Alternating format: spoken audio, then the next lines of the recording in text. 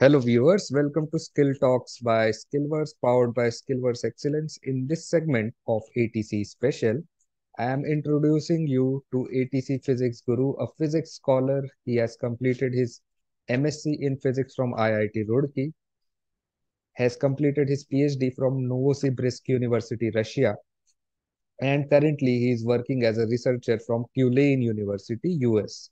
Welcome, Abhijit sir. How are you? Hi, hi. Yeah, I'm doing well. How are you Okay, doing? ha- uh, okay. Hopefully everything is fine in US, uh, Yes, yes. and your health is well, and you are also doing good in your profession right now. Yes, yes. Going good. Okay. So uh, just to start with, please हमारे viewers और aspirants को बताइए कि how do you see physics should be handled by aspirants in ATC and similar exams? So uh, here I would like to uh, share something from experience. मैं नाम नहीं लूँगा। हम ए बी सी करके use करते हैं नाम। Yes, yes. तीन बंदे थे ए बी सी तीनों फिजिक्स का ही समझ लो एंट्रेंस एग्ज़ाम तीनों बंदे के डिफरेंट अप्रोच थे। बंदा ए जो था उसके दिमाग में था "अरे यार एग्ज़ाम आ रहा है एग्ज़ाम आ रहा है छह महीने भी नहीं एग्ज़ाम में बहुत हड़बड़ी में रहता है तो उसको हड़बड़ी में प्रॉब्लम सॉल्व करता है। बिना देखे कि प्रॉब्लम पूछ क्या रहा है? हाँ प्रॉब्लम ये है सॉल्व कैसे इसका तो हड़बड़ी वाला एटीट्यूड था एग्ज़ाम के प्रति। एक हम्म का हम्म। बी का आइडिया ही अलग मतलब ए फिर भी कॉन्सेप्ट समझने का कोशिश कर रहा था बट हड़बड़ी में छूट रहा था। Okay. बी का स्टोरी ही अलग है। वो बोला है कि भाई कॉन्सेप्ट समझने का ज़रूरत नहीं। आप बहुत सारा हम्म न्यूमेरिकल सॉल्व करो आइडिया लग जाएगा कि किस टाइप का क्वेश्चन को कैसे हैंडल करना okay. उसका ये अप्रोच था। सी का थोड़ा धीमा अप्रोच था। इतना धीमा था कि वो कॉन्सेप्ट पे ध्यान दे रहा था। हम्म।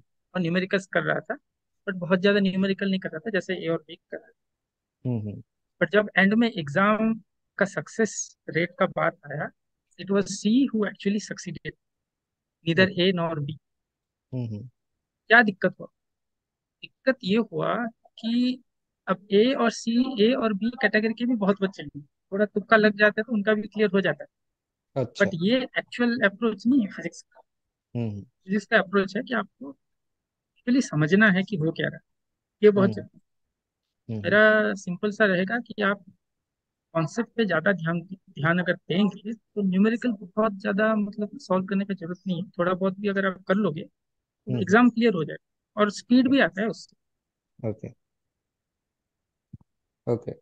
Uh, thank you so much for sharing this valuable insight and observation with us.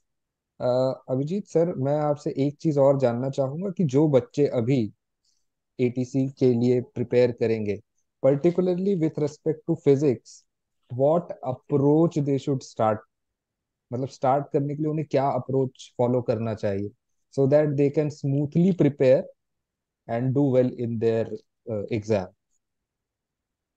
देखिए जैसे मैंने कहा अप्रोच ये होना चाहिए कि आप थोड़ा कॉन्सेप्ट पे ध्यान जैसे कि आपको मैंने दिखा दिया force is equal to mass into acceleration आप इसको सिर्फ़ एज ए फॉर्मूला देखोगे तो कुछ न्यूमेरिकल्स तो कर लो।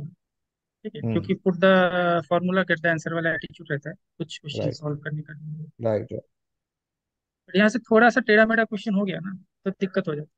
और यही फिजिक्स का मेन प्रॉब्लम की बात कर रहे हैं आप अगर क्वेश्चन में हाँ। ट्विस्ट आ गया। तो अगर आपको पता है कि force is equal to mass mass into acceleration क्यों है? हम्म। मास एक्सेलरेशन के साथ क्यों मल्टीप्लाई हो? मास नीचे क्यों नहीं आया? मास हम्म। फोर्स में मल्टीप्लाई होके क्यों नहीं रहा? ये हम्म। अगर थोड़ा बहुत भी समझ गए इसमें समझने के लिए बहुत टाइम नहीं चाहिए सच बताओ हम्म। ओके थोड़ा तो क्या है ना स्टूडेंट्स को हल्का सा थोड़ा दिमाग एक्स्ट्रा लगाना पड़ता है जो कि बहुत सारे स्टूडेंट थोड़ा रिलेक्टेंट होते हैं दिमाग लगाने हम्म। एक बार ये समझ आ गया ना फिर आपको कोई भी क्वेश्चन कैसा भी घुमा फिरा के दिया जाए आप तेज़ी से पकड़ लोगे क्वेश्चन समझ सम, क्या डिमांड कर रहे हैं?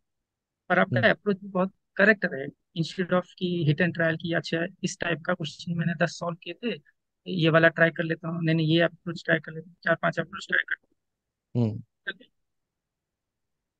अप्रोच होना बहुत ज़रूरी है। Okay got it got it so Abhijit sir आप कोई मटेरियल्स uh, या कुछ रिकमेंड करना चाहेंगे स्टूडेंट्स को for physics who are uh, preparing for ATC and are about to begin their preparation? जितना मुझे समझ है एटीसी का टाइम इस टाइम में किसी को भी कोई भी बुक सजेस्ट करो थोड़ा भारी भरकम रहता है फिजिक्स के राइट बुक तो यस आदमी वैसे भी डर जाता है।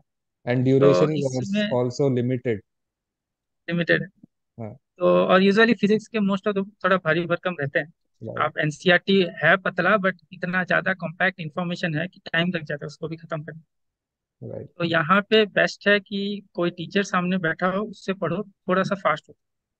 हम्म। आजकल जमाना भी वैसा है हम भी अगर कुछ समझने का कोशिश करते हैं तो पहले यूट्यूब देखने का कोशिश करते हैं फिर जाते हैं पढ़ते हैं। थोड़ा जल्दी समझ आ जाता है कोई सामने समझा रहा है हम्म। तो इसमें मैंने फिजिक्स कैसे समझना है और फंडामेंटल पुशअप करने के लिए दो पीडीएफ लिखे हैं वो हम्म। हम व्यूअर्स को रिकमेंड करेंगे कि आपको आइडिया आ जाएगा कि फिजिक्स को देखना कैसे। हम्म उसके बाद थोड़ा सा कोई टीचर का गाइडेंस चाहिए क्योंकि यहाँ पे टाइम फ्रेम वाला प्रॉब्लम है ना ऐसा नहीं है कि बहुत टाइम है आराम से बैठ बैठ के कॉन्सेप्ट करो। वहाँ पे थोड़ा टीचर गाइडेंस कोई सामने बैठ के जल्दी जल्दी पढ़ा रहा है और न्यूमेरिकल्स करा रहा है। और डाउट आ रहा है तो इमिडिएटली सॉल्व भी कर ऐसा नहीं कि आप खुद कर रहे हो तो एक ही डाउट को लेके एक दिन आपका खत्म। अभी टाइम नहीं है। कोई कोई सामने होना चाहिए मेरे हिसाब से। Okay okay thank you so much for this valuable insight Abhijit sir